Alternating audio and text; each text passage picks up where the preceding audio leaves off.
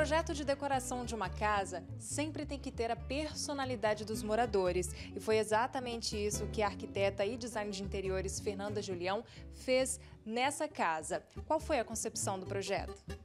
Então, Anne, a concepção a gente começa com briefing e, a, e a, a, família de uma forma geral, elas têm, eles têm muita personalidade, sabe realmente o que quer. E sai bem do tradicional também, né? Porque essa sala ela é escura, a maioria costuma ser branca, então você vai numa linha diferente. É, eu tento sempre ir na linha diferente baseado no meu cliente. E eles queriam esse tipo de, de projeto. Se quer claro, a gente faz claro, se quer mais escura, também faz.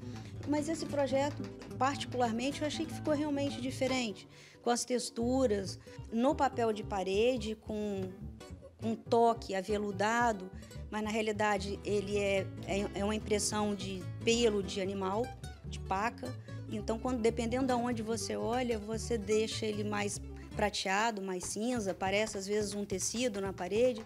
E essa concepção de do uso da laca, brilho com textura, o tecido do sofá mais seco também, na, no toque. Eu acho que toda essa mescla eu acho interessante e torna o ambiente diferente e imprime a personalidade desse cliente. Outro detalhe interessante foi a integração da sala com a varanda que muda de comportamento, né? Porque são dois ambientes completamente diferentes. Isso são completamente dif diferentes, no entanto integrado, que é, uma, é um comportamento atual das famílias, é uma tendência de hoje. Quando não tem essa compartimentação de sala de jantar, de copa, é, não tem isso bem definido na planta arquitetônica, é, é, tendência você integrar os ambientes de uma forma geral e o antigo jantar vai para a varanda com muito glamour também, mesmo um toque mais casual, porque tem toda uma infraestrutura para abrigar esse jantar. E vale a gente destacar também os adornos, né, as obras de arte que fizeram diferença também no projeto. Poucos os clientes também investem em obra de arte, infelizmente. Mas esse aqui, esse cliente quis investir, isso é, isso é bacana, eu acho que é interessante. E a gente tem que incentivar, porque tem muitos artistas por aí, a gente precisa adornar com arte e cultura. Agora vamos entrar nos quartos, que também tem um toque diferenciado em cada um deles.